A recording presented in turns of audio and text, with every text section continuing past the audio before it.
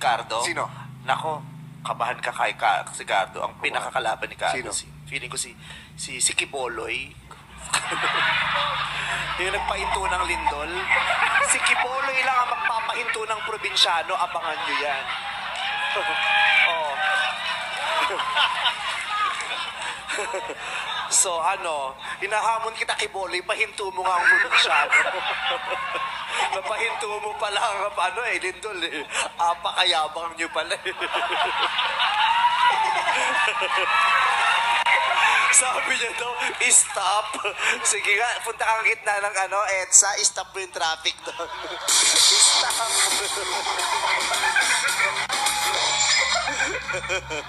stop. Iba ka, Kiboloy. Ang galing.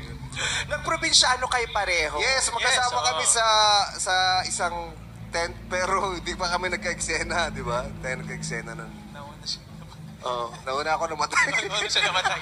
Na, ay, na, ay, ikaw namatay. Ikaw, Ako nakulong. Nakulong ako eh. Ay, ikaw pumatay sa kanya? hindi. Hindi, hindi. Siguro. Ba't namatay ka? My God! Di ka humingi ng tulong kay Kiboloy.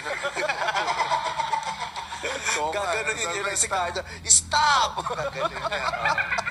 Dahil wala eh, hindi ko na Sayang.